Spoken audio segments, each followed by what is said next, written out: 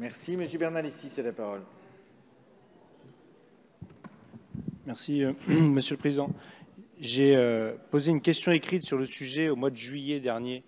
Euh, J'ai toujours pas eu de réponse, mais, j'imagine que la réponse de ce soir vaut réponse approximative et que j'aurai sans doute une réponse plus détaillée et écrite euh, le, moment venu.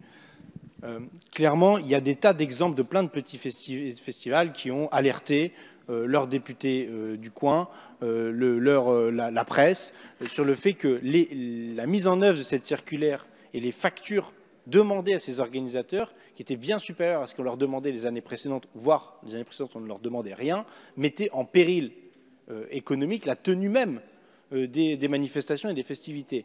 La question qui est posée, c'est est-ce que le surcoût, de par la menace terroriste, est nécessairement à la charge des organisateurs et donc aussi euh, des, usagers, des visiteurs, puisqu'on renchérit le coût du billet d'entrée euh, bien souvent. Si la réponse est oui, ça veut dire qu'il n'y en a plus que quelques-uns qui sont capables d'organiser ce genre de festivités, parce qu'ils n'ont plus le concours de la force publique, en tout cas plus le concours gratuit ou à titre moindre.